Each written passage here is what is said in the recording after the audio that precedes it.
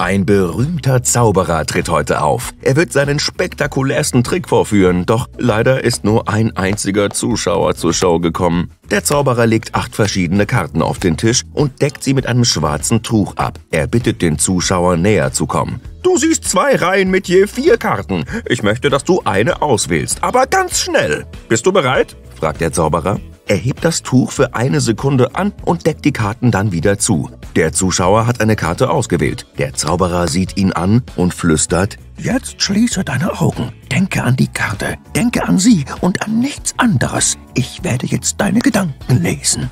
Der Zuschauer schließt seine Augen. Nach ein paar Sekunden sagt der Zauberer, Schau auf den Tisch. Ich habe deine Karte entfernt und sie durch eine neue ersetzt. Der Mann öffnet seine Augen und das ist Magie. Der Zauberer hat genau die Karte entfernt, an die der Zuschauer gedacht hat.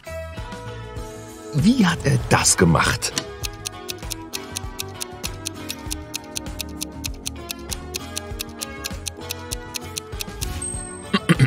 Hier gibt es keine Magie. Der Zauberer hat alle Karten auf dem Tisch durch neue Karten ersetzt, aber der Zuschauer hat es nicht bemerkt, weil er an seine Karte gedacht hat. Johnny ist auf einer einsamen Insel. Er läuft durch den Dschungel und findet eine alte Schatztruhe. Und als er sie berührt, springen drei Zombie-Piraten hinter den Bäumen vor. Wir hüten dieses Gold seit 500 Jahren und du wirst es nicht nehmen, sagt einer von ihnen. Johnny merkt, dass mit diesen Typen irgendwas nicht stimmt. Sie scheinen nicht das zu sein, wonach sie aussehen. Warum?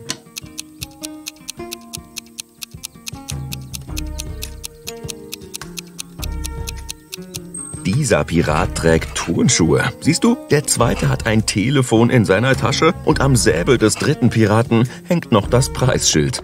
Ein berühmter Kurierdienst stellt neue Mitarbeiter ein. Um den Job zu bekommen, müssen die Kandidaten einen dreistündigen Marathon mit einem Paket laufen. Die Kandidaten bewältigen diese Aufgabe mit Leichtigkeit. Dann fordert der Chef sie auf, eine Bahn im olympischen Schwimmbecken zu schwimmen. Einer der Kandidaten hält in der Mitte an, um nach Luft zu schnappen. Er scheidet aus. Es bleiben noch drei Kandidaten übrig. Jetzt müssen sie einen Test in Kernphysik bestehen. Nur zwei Kandidaten machen keine Fehler. Der dritte ist ist weg.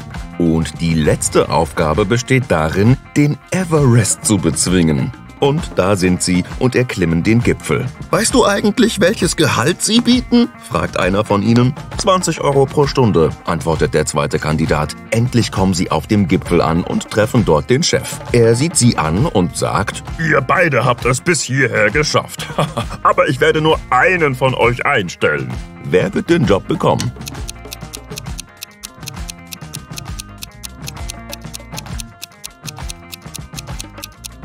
Der erste Kandidat. Er hat immer noch das Paket bei sich, das er vor dem Marathon bekommen hat.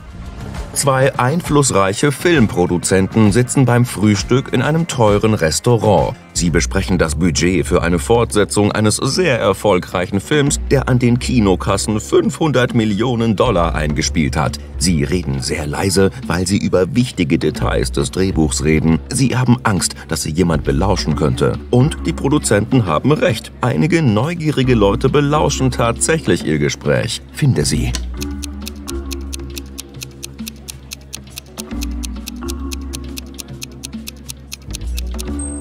Am Nebentisch sitzt ein Mann, der seine Zeitschrift verkehrt herumhält. Offensichtlich liest er sie nicht, sondern belauscht die Produzenten. Das Mädchen da drüben ist eine Journalistin. Aus ihrem Rucksack ragt ein Kameraobjektiv heraus. Siehst du? Sie wird ein Video veröffentlichen und die Fans können die Lippen der Produzenten lesen. Dieser Mann isst zwar seinen Salat, aber siehst du das Mikrofon, das in seinen langen Haaren klemmt? Hm. Drei Leute stehen in der Schlange vor der Eistheke. Der erste bekommt ein Waffeleis vom Verkäufer. Der Mann hinter ihm wirkt nervös. Er hat seine Hände in den Taschen vergraben. Der dritte Mann beobachtet irgendwas durch sein Fernglas. Wer von denen ist ein Polizist?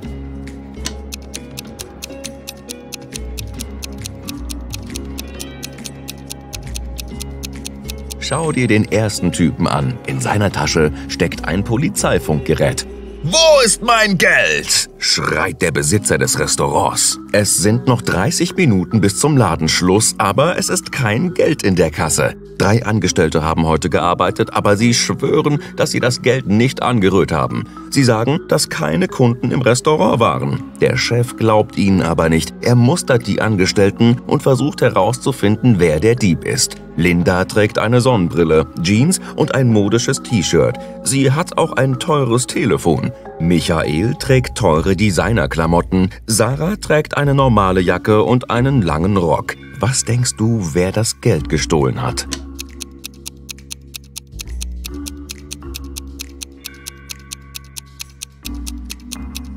Sie sagen alle die Wahrheit. Schau dir mal das Schild an der Tür an. Geöffnet steht da. Das bedeutet, dass Leute, die draußen am Lokal vorbeigingen, das Schild geschlossen sahen. Die Angestellten waren nur zu dusselig, es umzudrehen und deshalb kam kein Kunde rein. Mike läuft eine lange Straße entlang. Er ist verschwitzt, hungrig und durstig. Es sind keine Autos in der Nähe und sein Telefon funktioniert nicht. Mike geht noch ein paar Schritte und setzt sich dann an die Straße. Er kann nicht mehr weiterlaufen. Dann hört er ein Fahrzeug, das sich nähert. Ein großer Bus taucht auf. Er hält neben Mike an und die Türen öffnet sich, aber Mike steigt nicht ein. Er sieht ein Auto und ein Motorrad kommen. Auch sie halten bei ihm an. Alle Fahrer bieten Mike an, ihn mitzunehmen. Für wen sollte er sich entscheiden?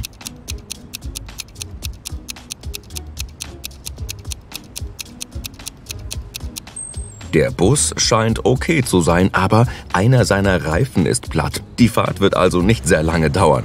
Schau dir den Biker an. Sein Gesicht wird von einem Helm verdeckt, aber er hat Hufe anstelle von Füßen. Mike entscheidet sich für das Auto.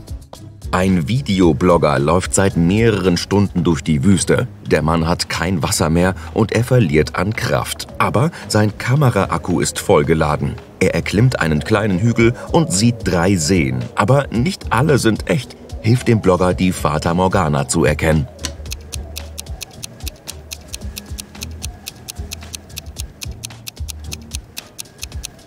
Er hat eine Videokamera, mit der er die Seen filmen kann. Trugbilder können nicht aufgenommen werden. Ein Motorradfahrer ist auf einer Landstraße unterwegs, als er einen Schrei hört. Eine Frau ruft um Hilfe. Sie scheint im Wald zu sein. Der Biker fährt in ihre Richtung und sieht drei junge Frauen zwischen den Bäumen. Sie flehen alle, sie vor einem Vampir zu retten. Aber wer von euch ist der Vampir? fragt der Mann. Sie ist es, schreien alle Mädchen und zeigen aufeinander. Wie kann der Biker rausfinden, wer ein Mensch ist?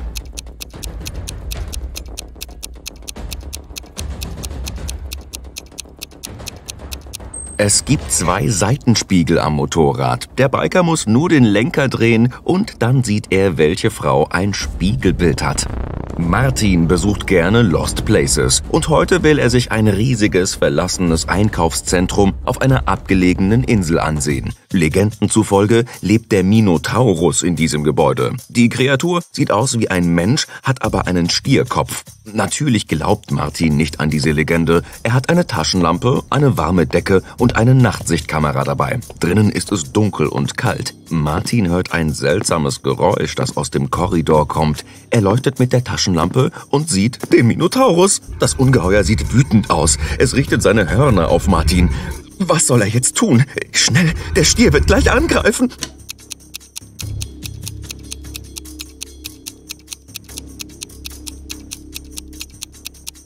Erinnerst du dich an die Decke, die Martin mitgenommen hat? Er sollte sie gegen die Schnauze des Monsters werfen, um es zu verwirren, damit er abhauen kann. Michelle steht vor einer verschlossenen Tür. Davor liegen eine Axt, ein Hammer, eine Bohrmaschine und anderes Werkzeug. Das Mädchen versucht, die Tür mit der Axt aufzubrechen, aber die Tür ist aus Metall. Dann versucht sie, das Schloss mit dem Hammer zu zerschlagen. Das funktioniert aber auch nicht. Versuch nicht, sie mit Gewalt zu öffnen. Es gibt einen einfacheren Weg, sagt eine unheimliche Stimme. Michelle versucht die Tür durch Drehen des Griffs zu öffnen, aber auch das klappt nicht. Was kann sie sonst noch tun?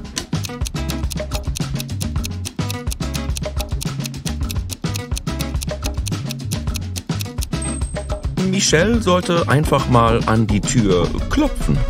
Klarer Sternenhimmel, Frische, kühle Luft, endlose Dünen, ein kleines Lagerfeuer und ein Zelt. Dieser Ort ist wie ein Märchen. Sarah hat sich schon immer gewünscht, eine Nacht in der Wüste zu verbringen. Sie macht Fotos von den Sternen, trinkt heißen Tee aus einer Thermoskanne und genießt das Leben. Es ist eine perfekte Nacht. Zu perfekt. Das Lächeln verschwindet aus Sarahs Gesicht. Es ist nicht real. Zwei Zeichen deuten darauf hin, dass Sarah schläft. Welche Zeichen sind es?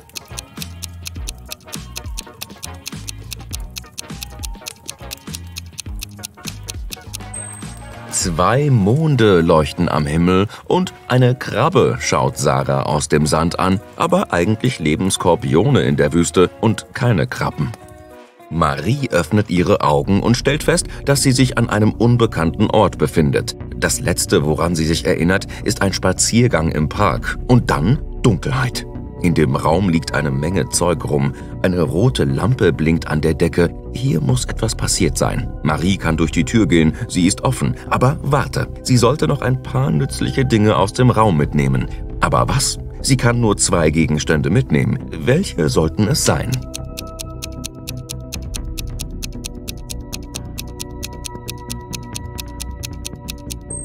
Marie sollte eine Taucherausrüstung mitnehmen. Schau dir das kleine Fenster an. Da schwimmen Fische vorbei. Marie ist unter Wasser. Alex kehrt nach dem Training im Fitnessstudio in seine Wohnung im obersten Stockwerk zurück. Er macht den Herd an, um sich eine Suppe zu kochen.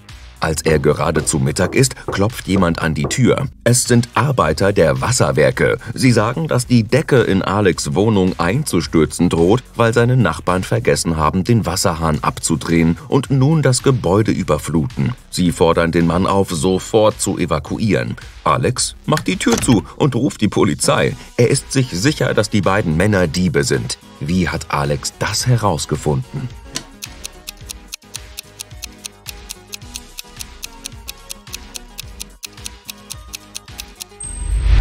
Er wohnt im obersten Stockwerk, keiner kann ihn überfluten.